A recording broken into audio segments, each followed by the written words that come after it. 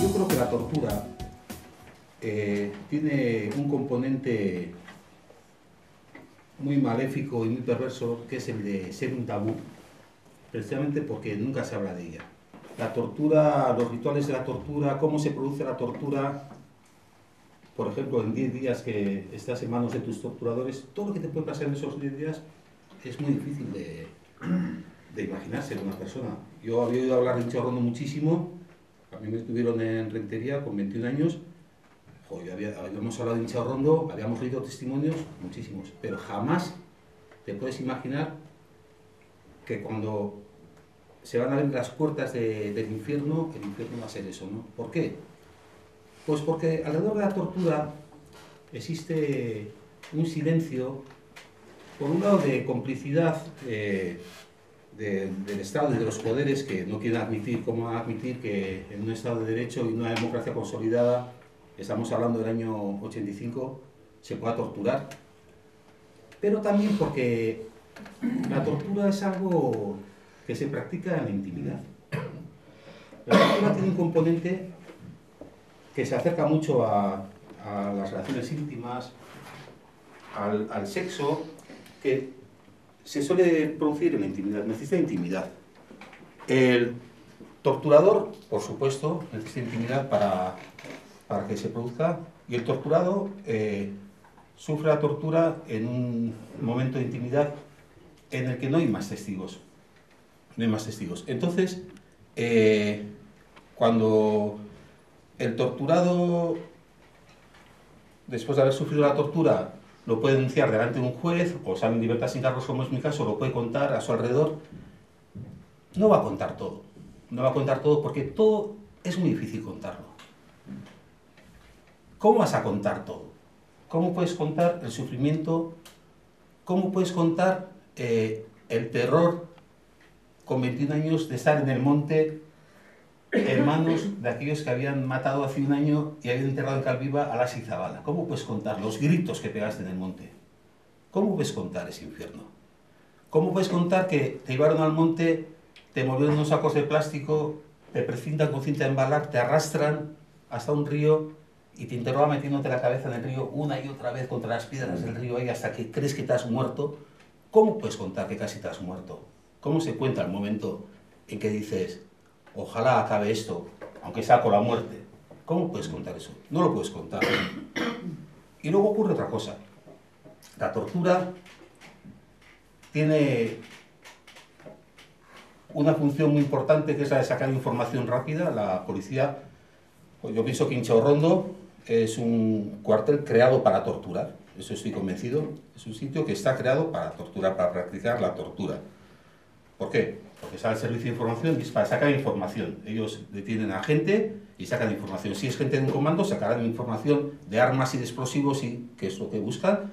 Y si es otra gente, pues sacarán otro tipo de información. Pero es una información rápida. Luego tiene otro componente, que es el de ejemplarizar el castigo. O sea, tan torturado, pues tú sales a la calle y ya tus vecinos, tus amigos, tus compañeros se andarán con cuidado porque si anda por donde tú andas y contigo, pues puede pasar lo mismo, que es una cosa muy terrorífica que tú se la vas a contar. Pero luego tiene otro componente que es el más perverso de todos, que es el de destruir a la persona torturada. Destruirla a ella y destruir su inocencia. Y yo pienso que, que eso es lo más difícil de contar de la tortura. ¿Por qué tenemos tan pocos testimonios de torturados? Sí que testimonios a nivel como judicial, lo que digo, o sea, me hicieron tal cosa, pero apenas hay testimonios de qué sentí yo realmente cuando me torturaban. ¿Cómo fueron esos días en cada minuto de lo que pasamos en, ese momento de la tortura, en esa detención, en la tortura era sistemática? Pero, eh, ¿qué pasa con, la inocencia que digo que se destruye cuando cuando te torturan. Ocurre que tú cuando vas a salir a la calle, eh, no cuentas todo lo que te ha pasado, primero con una especie de pudor que tienes, porque has estado como un, un guiñapo y como un cobarde. Habías sido un mierda. O sea, cuando te han detenido en manos de la Guardia Civil de tú eres un mierda. Por muy gracioso que te quieras hacer, por mucho que quieras hacer pasar por lo que seas, eres un mierda. Y esa sensación la has tenido profundamente. Y por otro lado, hay un componente que es, que es muy duro, pero que es que también has hablado. Al final vas a hablar no solo de lo que sabes, sino de lo que te imaginas y de lo que te inventas. Y entonces has hablado y tienes la sensación de que has dicho cosas que no deberías decir. Y eso no quieres que la gente lo sepa. Te sientes culpable. Y como tal culpable, apareces en tu pueblo. Y ese no profundizar en la tortura ha sido lo que, lo que haga que, que no conozcamos realmente algunas dimensiones que tiene, que tiene la práctica de la tortura. ¿no? Yo cuando escribí el libro de, de Hincharrón la sombra del Noval, lo escribí porque quería poner palabras una detrás de otra, a todos los sentimientos que pienso que sentí en ese momento, a todas las cosas que, pienso que, que, ocurrieron en ese momento, y quería ponerles palabras porque no quería que fuese aquello que me pasó, quería que fuese esto que cuento aquí. Yo no escribo el libro desde el odio, ni mucho menos, me parece que no lo he hecho desde el odio, pero tampoco desde el perdón. Que la memoria histórica consiste en hablar solo de unas cosas muy graves que han pasado, pero luego lo que era el contexto y lo que ha sido la lucha realmente de mucha gente del día a día, eso olvidarlo, eso es como una cosa que no, que no ha existido y que, bueno, que hay otros métodos y tal. Entonces, eh, quería que el libro fuese un homenaje también a los luchadores de, la gente generosa que ha habido bueno, pues como aquí ahora veo, vengo aquí a Zabaldi y veo que hay mucha gente generosa haciendo cosas, voy a otros sitios y ves que hay mucha gente generosa y siempre en Euskal Herria ha salido, pues yo quería que el libro también fuese un libro que hablase de eso, ¿no? Y luego también, como no, pues el libro, la, la, primera página está dedicado a la memoria de Miquel Zabalza, ¿no?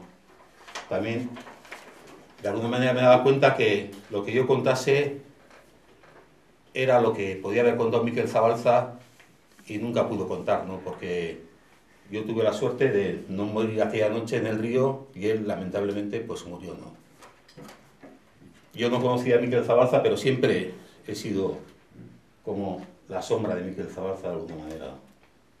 Y quería también que el libro reivindicase su memoria y que no olvidásemos lo que, la injusticia que se hizo y, y realmente me parece mentira que todavía 30 años después la versión oficial siga siendo la que dieron gente como gente tan execrable incluso para ellos como ha sido Roldán, Urrarburu y toda esta gente, ¿no? Parece mentira. Entonces de alguna manera quería enfrentar un relato al relato de ellos, ¿no? Enfrentar mi libro a su versión oficial y por eso escribí Hincharon a la sombra del hogar.